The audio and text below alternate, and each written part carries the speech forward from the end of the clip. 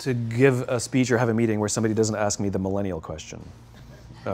What's the millennial question? Apparently, millennials as a generation, which is a group of people who were born approximately uh, 1984 and after, um, uh, are tough to manage. And they're accused of being entitled and narcissistic and self interested, unfocused, lazy. But entitled is the big one. And, uh, and because they confound leadership so much, what's happening is leaders are asking the millennials, What do you want? And millennials are saying, We want to work in a place with purpose, love that. Um, we want to make an impact, you know, whatever that means. Um, uh, we want free food and bean bags. Uh, and so somebody articulates some sort of purpose. There's lots of free food and there's bean bags, and yet for some reason they're still not happy, and that's because um, you, the, they're missing. There's, there's a there's a missing piece. Um, what I've learned is that there I can break it down into four pieces. Right? There are four four things, four characteristics. One is parenting, the other one is uh, technology, the third is impatience, and the fourth is environment. The generation that we call the millennials, too many of them grew up um, subject to, not my words, failed parenting strategies. You know, where, for example, they were told that they were special all the time. They were told that they could have anything they want in life, just because they want it. Right? They were told um, uh, some of them got into um, honors classes not because they deserved it, but because their parents complained. And some of them got A's not because they earned them, but because the teachers didn't want to deal with the parents. Some kids got participation medals. You got a medal for coming in last, right? Which the science we know is pretty clear, which is it devalues the medal and the reward for those who actually work hard, and it actually makes the person who comes in last feel embarrassed because they know they didn't deserve it. So it actually makes them feel worse, mm. right? So you take this group of people and they graduate school and they get a job and they're thrust into, an, into the real world, and in an instant, they find out they're not special, their moms can't get them a promotion, um, that you get nothing for coming in last, and by the way, you can't just have it because you want it, right? And in an instant, their entire self image is shattered. And so you have an entire generation that's growing up with lower self esteem than previous generations. The other problem, to compound it, is we're growing up in a Facebook, Instagram world. In other words, we're good at putting filters on things. We're good at showing people that life is amazing even though I'm depressed, right? And so everybody sounds tough and everybody sounds like they got it all figured out. And the reality is there's very little toughness and most people don't have it figured out. And so when the more senior people say, well, what should we do? They sound like this is what you got to do. And they have no clue. right? So you have an entire generation growing up with lower self-esteem than previous generations, right? Through no fault of their own. Through no fault of their own, right? They were dealt a bad hand, right? Now let's add in technology. We know that engagement with social media and our cell phones releases a chemical called dopamine. That's why when you get a text, it feels good. Right? So you know we've all had it where you're feeling a little bit down or feeling a bit lonely, and so you send out 10 texts to 10 friends, you know, hi, hi, hi, hi, hi. Because it feels good when you get a response, right? Right? It's why we count the likes. It's why we go back 10 times to see if, and if it's going, if our, my Instagram is growing slower, I, I, I, did I do something wrong? Do they not like me anymore, right? The, the trauma for young kids to be unfriended, right? Because we know when you get it, you get a hit of dopamine, which feels good. It's why we like it, it's why we keep going back to it. Dopamine is the exact same chemical that makes us feel good when we smoke, when we drink, and when we gamble. In other words, it's highly, highly addictive right? We have age restrictions on smoking, gambling, and uh, alcohol, and we have no age restrictions on social media and cell phones, which is the equivalent of opening up the liquor cabinet and saying to our teenagers, hey, by the way, this adolescence thing, if it gets you down. but that's basically what's happening. That's basically what's happening, right? That's basically what happened. You have an entire generation that has access to an addictive, numbing, chemical called dopamine through social media and cell phones as they're going through the high stress of adolescence. Why is this important? Almost every alcoholic discovered alcohol when they were teenagers. When we're very, very young, the only approval we need is the approval of our parents. And as we go through adolescence, we make this transition where we now need the approval of our peers. Very frustrating for our parents, very important for us. It allows us to acculturate outside of our immediate families into the broader tribe, right? It's a highly, highly stressful and anxious period of our lives, and we're supposed to learn to rely on our friends. Some people, quite by accident, discover alcohol and numbing effects of dopamine to help them cope with the stresses and anxieties of adolescence. Unfortunately, that becomes hardwired in their brains, and for the rest of their lives, when they suffer significant stress, they will not turn to a person, they will turn to the bottle. Social stress, financial stress, career stress, that's pretty much the primary reasons why an alcoholic drinks, right? What's happening is because we're uh, allowing unfettered access to these dopamine producing devices and media, basically it's becoming hardwired, and what we're seeing is as they grow older, they, too many kids don't know how to form deep, meaningful relationships their words, not mine. They will admit that many of their friendships are superficial. They will admit that their friends, that they don't count on their friends, they don't rely on their friends, they have fun with their friends, but they also know that their friends will cancel on them if something better comes along. Deep, meaningful relationships are not there because they never practice the skill set, and worse, they don't have the coping mechanisms to deal with stress. So when significant stress starts to show up in their lives, they're not turning to a person, they're turning to a device, they're turning to social media, they're turning to these things which offer temporary relief. We know, the science is clear, we know that people who spend more time on Facebook suffer higher rates of depression than people who spend less time on Facebook. Right? These things balanced. Alcohol is not bad, too much alcohol is bad. Gambling is fun, too much gambling is dangerous. Right? There's nothing wrong with social media and cell phones. It's the imbalance. Right? If you're sitting at dinner with your friends and you're texting somebody who's not there, that's a problem. That's an addiction. If you're sitting in a meeting with people you're supposed to be listening to and speaking, and you put your phone on the table, face up or face down, I don't care, that sends a subconscious message to the room that you're not just you're just not that important to me right now. Right? That's what happens. And the fact that you cannot put it away is because you are addicted. Right? If you wake up and you check your phone before you say good morning to your girlfriend, boyfriend, or spouse, you have an addiction. And like all addiction, in time, it'll destroy relationships, it'll cost time, and it'll cost money, and it'll make your life worse. Right? So you have a generation growing up with lower self-esteem that doesn't have the coping mechanisms to deal with stress. stress. Right? Now you add in the sense of impatience. Right? They've grown up in a world of instant gratification. You want to buy something, you go on Amazon, it arrives the next day. You want to watch a movie? Log on and watch a movie. You don't check movie times. You want to watch a TV show? Binge. You don't even have to wait week to week to week. Right? I know people who skip seasons just so they can binge at the end of the season, right? Instant gratification. You want to go on a date, you don't even have to learn how to be like, hey. you don't even have to learn and practice that skill. You don't have to be the uncomfortable one who says, says yes when you mean no and says no when you mean no, and yes when you. You don't have to swipe right. Bang, I'm a stud. right? You don't have to learn the social coping mechanisms, right? Everything you want, you can have instantaneously. Everything you want, instant gratification, except job satisfaction and strength of relationships. There ain't no app for that. They are slow, meandering, uncomfortable, messy processes. And so I keep meeting these wonderful, fantastic, idealistic, hardworking, smart kids. They've just graduated school. They're in their entry level job. I sit down with them and I go, How's it going? They go, I think I'm going to quit. I'm like, Why?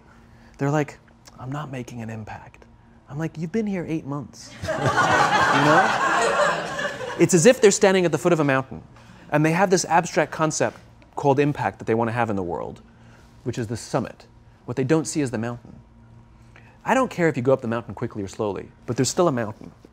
And so, what this young generation needs to learn is patience. That some things that really, really matter, like love, or job fulfillment, joy, love of life, self confidence, a skill set, any of these things, all of these things take time.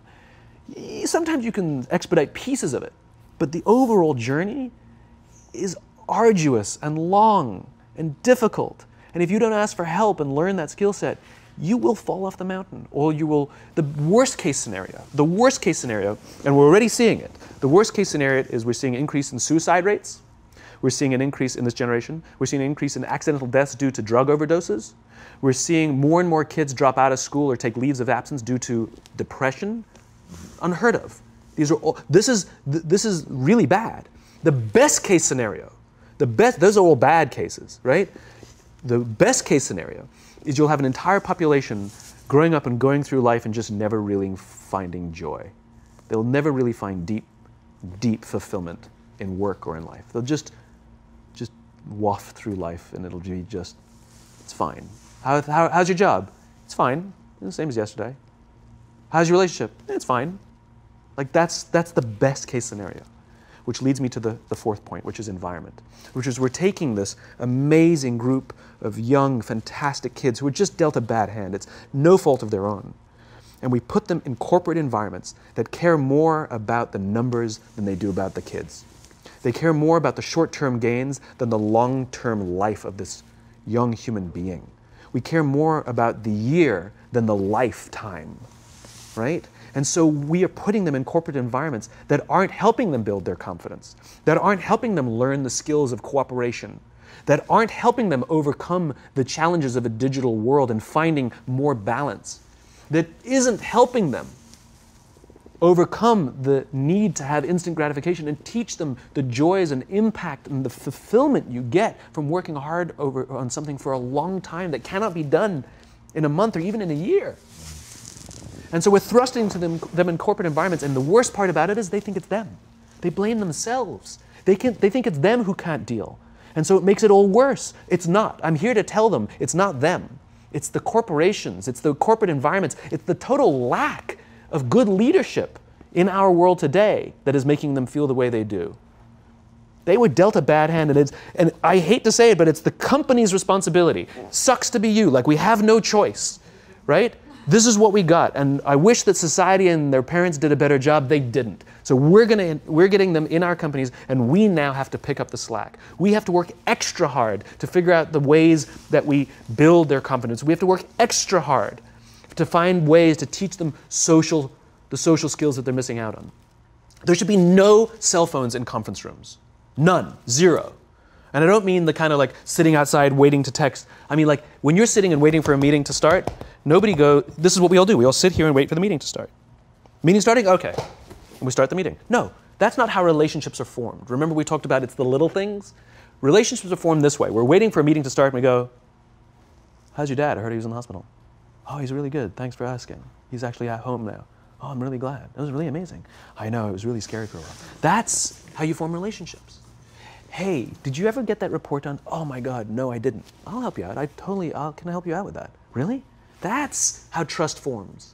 Trust doesn't form at an event in a day. Even bad times don't form trust immediately. It's the slow, steady consistency. And we have to create mechanisms where we allow for those little innocuous interactions to happen. But when we allow cell phones in conference rooms, we just, okay, have the meeting, and then my favorite is like when there's a cell phone there and you go like this, you go. it rings and you go. I'm not going to answer that. Like, Mr. Magnanimous, you know? when you're out for dinner with your friends, like uh, I, I, do this with my friends. When we're going out for dinner and we're leaving together, we'll, we'll leave our cell phones at home. Who are we calling? Maybe one of us will bring a phone in case we need to call an Uber or take a picture of our meal. Uh, goes without saying. Come on. Uh, I mean, I'm, I'm not. I'm, I'm, an idealist, but I'm not insane. You know? not a heathen. I mean, it looked really good. Um, we'll take one phone. And so it's like an alcoholic. The reason you take the alcohol out of the house is, be- we, is because we cannot trust our willpower. We're just not strong enough. But when you remove the temptation, it actually makes it a lot easier. And so when you just say, don't check your phone, people literally will go like this. And somebody will go to the bathroom, and what's the first thing we do? Because I wouldn't want to look around the restaurant for a minute and a half, you know? But if you don't have the phone, you just kind of enjoy the world. And that's where ideas happen. The constant, constant, constant engagement is not where you have innovation and ideas. Ideas happen when our minds wander and we go, and you see something, uh, I bet they could do that. That's called innovation right? But we're taking away all those little moments, right? You should not, and none of us, none of us should charge our phones by our beds. We should be charging our phones in the living rooms, right? Remove the temptation. You wake up in the middle of the night because you can't sleep, you won't check your phone, which makes it worse. But if it's in the living room, it's relaxed, it's fine. I, I uh, but it's my alarm clock. buy an alarm clock. they cost eight dollars. Right? I'll, I'll buy you an alarm. Right? But the point is, the point is, is we now in industry, whether we like it or not, we don't get a choice. We now have a responsibility to make up the shortfall and to help this amazing, idealistic, fantastic generation build their confidence, learn patience, learn the social skills, find a better balance between life and technology. Because, quite frankly, it's, it's the right thing to do. Simon, thank you so My much pleasure. for coming on. My pleasure. Thanks for having me. A- thank you for coming. That was incredible. uh, absolutely amazing. Where can they find you? Uh, it's ironic, isn't it? Uh, well, you can find me on social media. When you're not in a meeting. So, so, so, yeah, I'm in all the usual places, but um, but I will tell you one thing. So, I have a new book coming out in in uh, September. This is it's th- it's a thinly veiled plug, but the what's You've made them very happy. but what's special about it is I wanted to produce something that uh, that no digital format could reproduce. Interesting. And so it's an illustrated quote book. It's, it's beautifully illustrated. I was very sort of pushy about this that I didn't want the illustrations done on a computer, they were done by hand. There's a song, Aloe Blacc, uh, the singer, the Grammy nominated singer. Um, the, the book is called Together is Better, and he gave me a song that goes with it. And it's the music is at the back of the book, and it's actually the lyrics are in his handwriting. It's actually his handwriting. And, and here's the best part the book is scented. We scented it with a custom scent made by this amazing company called 1229, and they designed for me the scent of optimism. All right. So you smell the pages, and they smell like optimism, right? and the thing that I love about this is I can't do that in any ebook format. Mm. I wanted to create something that you had to physically engage with, and it's designed to be given as a gift. The first page says to, from because I wanted it to be given as a gift to someone you want to say thank you for inspiring you, or to give to someone uh, uh, you wanted to inspire. It was designed to promote this physical interaction and engaging with the real world. So I'm really proud of it. It's incredible, man. Super unique. Yeah, it's fun. I hope it does smashingly well as your Thank other you. books have and have given so much to people and it's just really really been incredible and what you shared with us today man honestly Thank you. absolutely wonderful Appreciate it. Thank, you very much. so much Truly, thank you for having me. Guys, I should have done the entire interview at his feet, which is exactly how it felt. Um, he has an amazing Twitter quote, which I'm going to paraphrase, but leaders are learners, and the people who stop pretending like they know everything and really open themselves up to knowledge are the ones that go farther ahead. Needless to say, it was much shorter than that since it was 140 characters, but that that's the idea. And when I encountered Simon for the first time, it was with that enthusiasm of being opened up to learning something new, to changing everything, to build something that is better. Uh, knowing why you're doing what you're doing is so critical, and just the human way in which he approaches the world and the connection, and hearing that today in front of this audience and seeing everybody in rapt attention and talking about putting the cell phones aside uh, and really remembering to connect. I think that is just incredibly, incredibly important. So, Simon, thank you again My so pleasure. much for sharing with My us. man. pleasure. Thank you very, very much. Really beautiful. Thank you.